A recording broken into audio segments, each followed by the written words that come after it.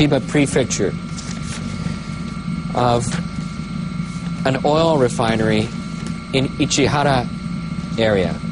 This is live coverage of an oil refinery where not just black smoke, but you can see an inferno, fire breaking out on an oil refinery in Chiba Prefecture, north of Tokyo.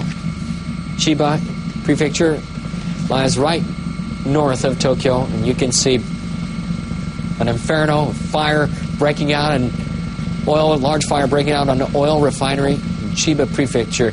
Black smoke seen billowing from the refinery, and it looks like firefighters are having an almost impossible situation to be able to control that at this time.